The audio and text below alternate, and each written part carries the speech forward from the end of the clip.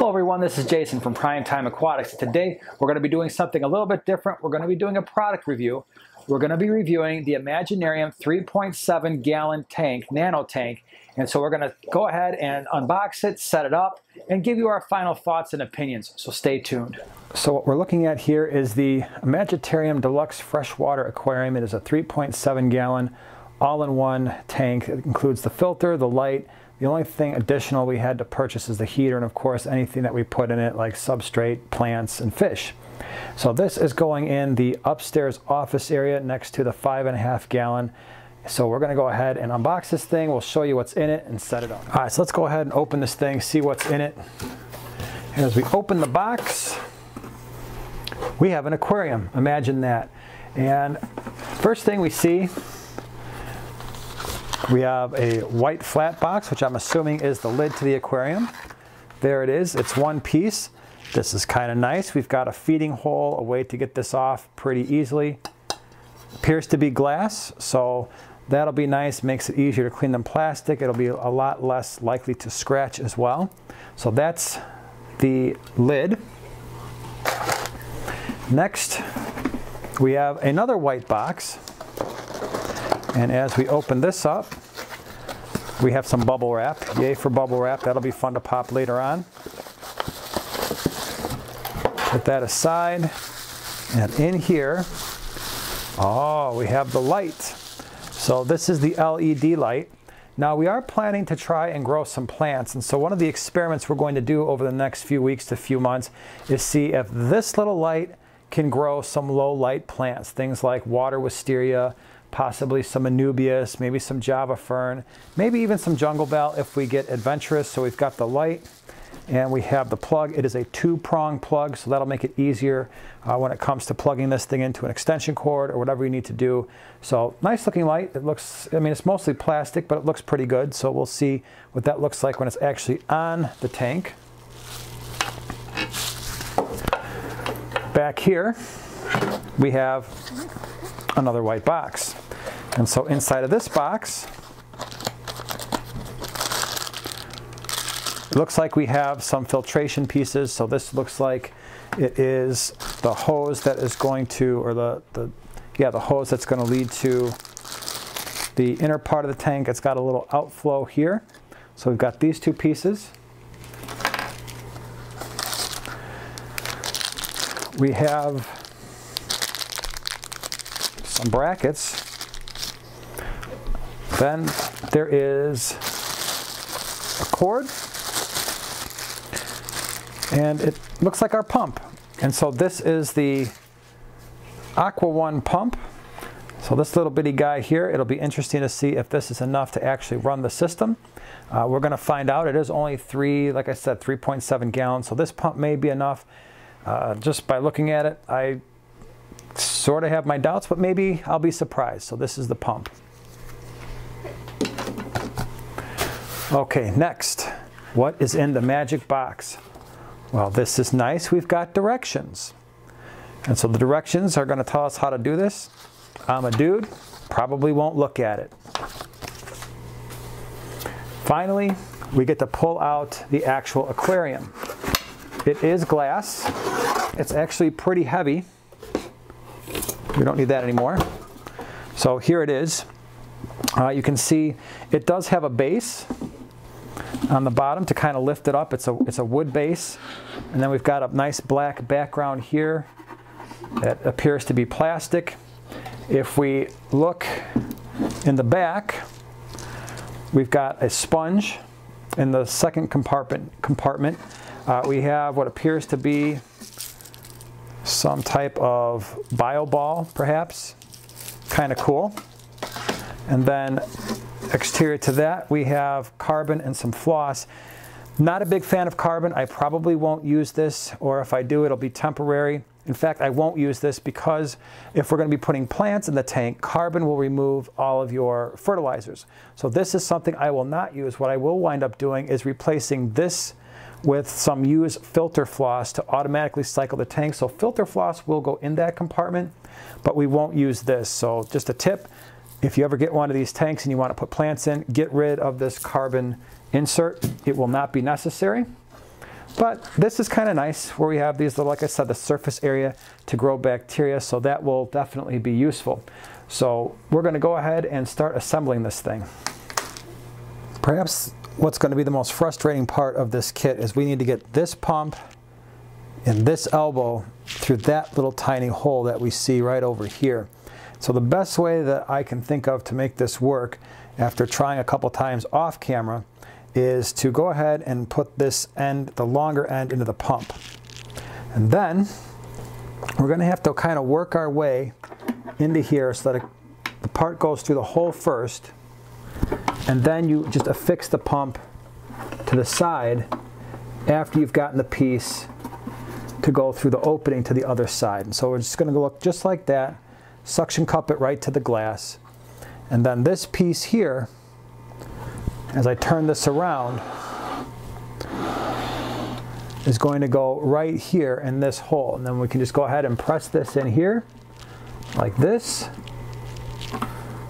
And then set this nozzle to whatever direction you want the flow.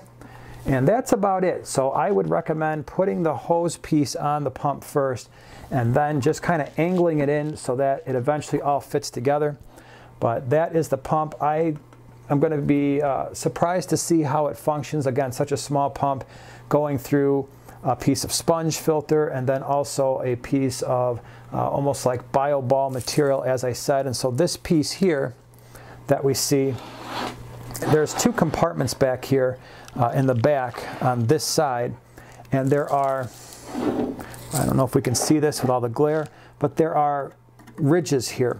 And so what I'm going to do is I'm going to go ahead and slide this in the first compartment here. What it looks like is happening is on the bottom, on the very bottom, and it's going to be again hard to see, but down here there's an opening and so the pump is going to be sucking water through all this media from the top of this area. It's going to go down through the bio balls, through filter floss that would be here, or the sponge, through this next compartment, up the bottom, and then out the top. So there's, again, quite a bit of space to do uh, filtration. So what's going to happen next is the light is going to clamp on the back just like this, and then there are a couple of screws that will fasten it to the tank so that it doesn't fall off or fall over. Uh, the screws are seem to be sufficient. They're not exactly super rugged, so they got little plastic parts that you kind of screw. And I think if you were to do this too tightly, you'd probably run the risk of snapping one or both. So we're going to do this enough to keep the light on, being aware that these things are not necessarily the most rugged things in the world. And then we can go ahead and adjust this light. It's a little flimsy. Um, I think it's going to work, but I could see this thing over time. Uh, you know, you can see here there's some play in it, and there really isn't a way to tighten that, so it is definitely not the most high quality light I've ever seen. The other problem that becomes very obvious after you begin to set up this tank is it doesn't really, let me go ahead and come from the side here, it really doesn't hang over this tank very far. So it goes just beyond the filter, uh, the, the filter area. This thing really should be a whole lot longer and it's not and so that's going to be a concern. This is an incredibly cheap light in fact. Uh, the whole mechanism back here it looks like it's going to fall apart. Uh, I definitely think that there could be a massive improvement in the quality of this light. Looks like there is a power button up here at the top where you're going to be able to touch it and turn it on and off. But the placement of the light is, I would say, very poor because this is where the tank ends and this is where the light is. So you got this whole front area where there is going to be less light. So if you're growing plants, that's something to consider if this will even grow plants, and that remains to be seen. So that is definitely something that would uh, need to be improved. So before we really get to the substrate and, and the decoration of this tank, we've got this uh, Aqueon mini heater, 10 watt. It's supposed to be good for up to five gallons. I'm not a huge fan of heaters that just are set at one temperature and that's all they do. Uh, these heaters tend to fail before the heaters with an adjustable thermostat. However, we've been using one of these in a 10 gallon and in a five and a half gallon in the upstairs part of our, our home and they've been working out okay so far for the last year. So I'm gonna, it was cheap, it was like 15 bucks. So I'm gonna go ahead and give this a try. Now what we're gonna do with this heater is I am going to uh, place that in the back. And this is kind of a nice thing. Let me go ahead and cut this, this makes all kinds of noise. That's, this is one of the benefits of a setup like this is you're not going to see any of the filtration and you're not going to see any of the heaters, you're not going to see really any of the cords, and so that's going to give it a nice clean look compared to perhaps other tank setups. So what we have here, again, this is little tiny heater, so I'm going to go ahead and kind of get everything set up and placed where I want it. And so one of the things that I typically do uh, before putting substrate and plants and everything else in the tank is kind of get the cords all unraveled and then this will go in the back so we can put this really anywhere. I'm going to put it kind of next to the pump I think. Uh, just make sure it's down low enough, stick it to the glass so it's down low enough so that we don't run into a problem if we ever have to uh, do a water change. I mean, that's one big thing when you're doing a water change. If you do 25% and your heater's completely exposed, that element gets hot and the heater can burn itself out. So it, the light's in, the pump is in, the heater's in the back. You know, you can see the cords back here. Obviously, that's not going to be the case once we get everything cleaned up. So next step, we want to deal with the substrate. And for that, we're going to be using uh, some black sand. This is Nat Geo sand that I had left over from a previous tank build. So we're just going to go ahead and pour this in. It actually is pretty clean. So we're going to go ahead and just put some in here. With sand, I like to have at least an inch, inch and a half. We're going to go ahead and slope it towards the back. This is going to be tough to see. I'll get a little bit closer view here in a second. Uh, we're going to go ahead and pour a little bit more in.